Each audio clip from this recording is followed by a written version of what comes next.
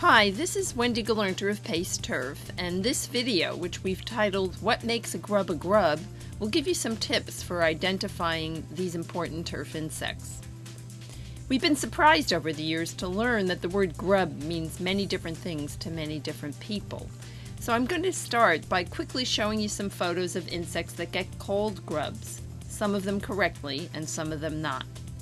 How about this soft-bodied soil-dwelling insect? Do you think that this is a grub? Or how about this one? It looks something like the previous insect, but it has no legs. Do you think this is a grub? This soil-dwelling insect is also sometimes described as a grub. Do you think this one's a grub? How about this insect? It's usually found on the foliage or the thatch on golf course greens. Let's go back and look at each of these insect types. If you said that this masked chafer larva was a grub, you would be right. In fact, the masked chafer and other related insects, such as the Japanese beetle, the oriental beetle, the black turf grass Ataenius, and others, are all known as white grubs. Some of the features that all white grubs share is that they live in the soil and feed on the roots of plants. They also share a soft, thick white body, which is frequently, although not always, curled into the shape of the letter C. White grubs also all have three pairs of legs.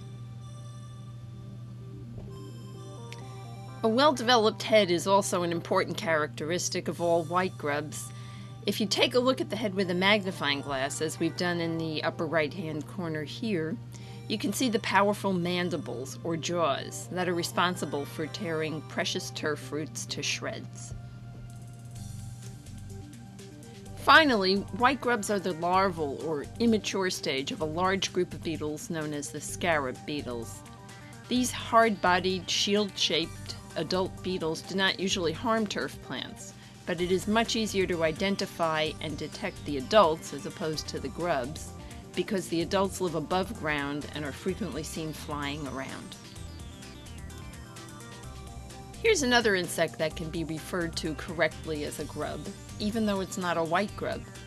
And at first glance, the larvae of billbugs look a lot like white grub larvae because they're also soft-bodied and white, because they're frequently found in the soil, and because they're the damaging stage of the insect.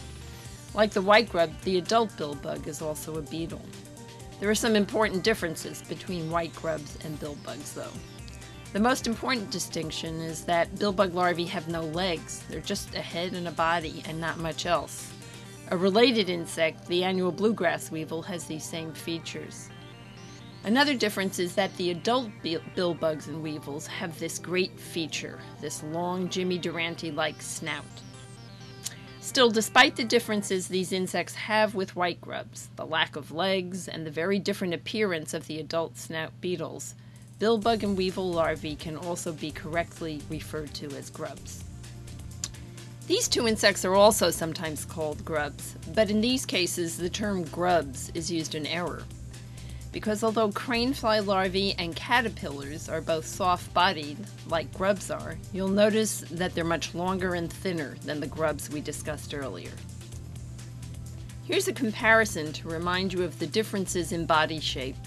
You'll also notice that the crane fly and the caterpillar are much darker in color than any of the grubs we looked at. But the main reason that caterpillars and craneflies are not called grubs is because they're very different evolutionarily from grubs. While grubs are all the immature stages of various beetles, caterpillars like the cutworm are the immature stage of a completely different group of insects, the moths and butterflies. And leather jackets are the immature stage of a group of insects known as crane flies. The adults are large flies that are closely related to mosquitoes. So, to recap, the features that are shared by insects that are called grubs are their soft, thick, light-colored bodies, their well-developed heads, their presence in the soil or inside plants, and the fact that they are the immature stage of beetles. Why is it even important to know what defines a grub? Well, in addition to being able to communicate better with your peers, It turns out that because grubs are all fairly closely related, the management practices, including insecticide products, are very similar for all grubs. The products shown here have all been tested in multiple university trials and all have shown good to excellent activity against grubs white grubs, weevils, and billbugs. For more information on identification, management, and control of grubs, don't forget to visit the PACE Turf member website at www.paceturf.org.